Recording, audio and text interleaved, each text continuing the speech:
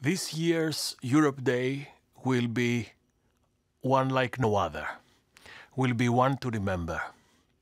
We are experiencing an extremely difficult and unprecedented situation that tests our way of life.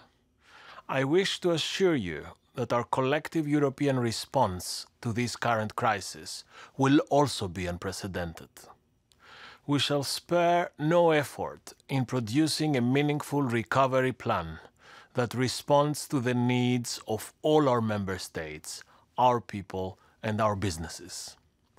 Kickstarting the real economy is our new pivotal priority in this Europe Day of May 2020. This year, we are also celebrating the 70th anniversary of the Schuman Declaration. Its core message is more relevant than ever.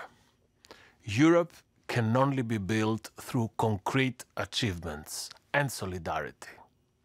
And it is precisely with this spirit of strong European solidarity, coordination, and cooperation across borders that we will come out of this crisis stronger together and more resilient. Big problems require big European solutions. This is a historical moment and we shall deliver. Together, we shall overcome.